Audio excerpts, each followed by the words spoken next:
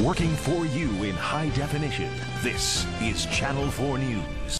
A Metro police officer badly injured after being dragged for a mile by a shoplifter's car hasn't let that keep him from doing police work. Today, Officer James Duke accepted the Theodore Roosevelt Association Police Award.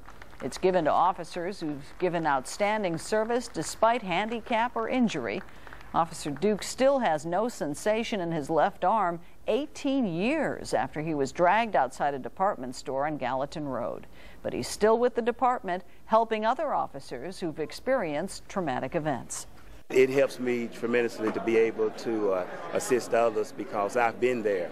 And when, when I um, work with people who have experienced trauma and loss, uh, I can share with them from my experience and understand the feelings that they are going through since the attack, Officer Duke has also become the department's chaplain and pastor at St. Paul Primitive Baptist Church.